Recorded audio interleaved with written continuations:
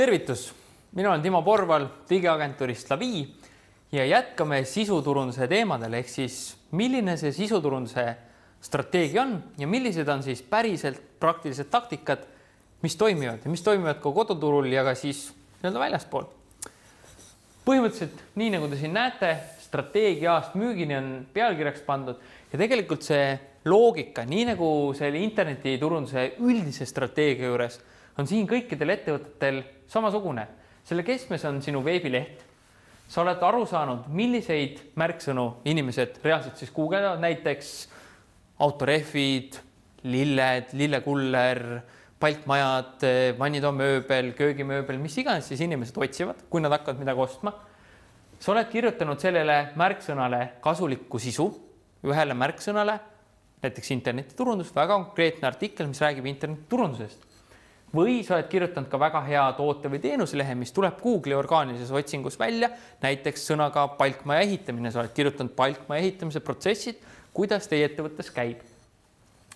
ja kui inimesed guugeldavad, jõuavad blogisse, blogis sa suunad nad to teenuse toote, toote või teenuselehele ja sealt siis sa suunad inimesed päringut või tellimust tegema ja saadki oma jälle eurod, dollarid või jeenid kätte.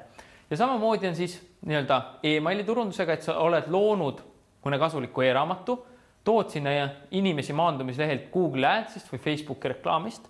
sa korjad endale emaili listi e, emaili, emaili listi korjamisest, emaili turundusest on olemas siin lehel ka spetsiaalne video Erki Markusega, nii et kindlasti vaata seda. ja siis, kui sul see email käes on, siis sa hakkad sinna sisu looma, sa hakkad seda suhet uuesti üle, mitte uuesti üles ehitama, vaid sa hakkad seda sisu selle kliendiga, mitte sisu, vaid seda suhet kliendiga looma ja siis aeg-ajalt sa sinna saadad ka müügikirju, et saada kätte see päring või tellimus. et selliselt tegelikult saad sa üles ehitada ka enda sisuturunduse strateegia ja jõuadki punktist A punkti müük. Eh, millised on siis takistused, et eh, ideaalne klient saaks selle väga hea sisu kätte?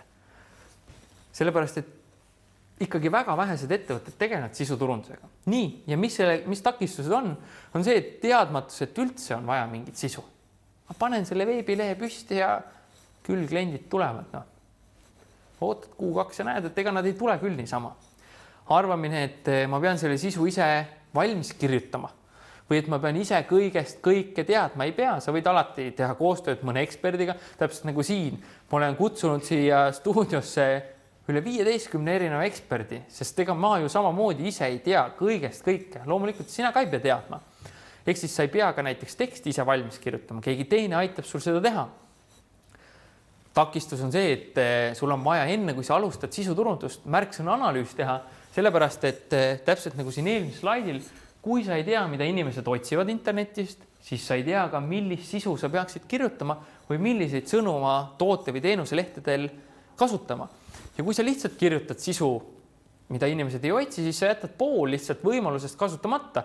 loomulikult sa võid seda väga head artiklit levitada Facebookis ja võib-olla inimesed share ivad ja jagavad seda, see läheb nii-öelda viraliks ja kõik loevad, kõik on väga tore.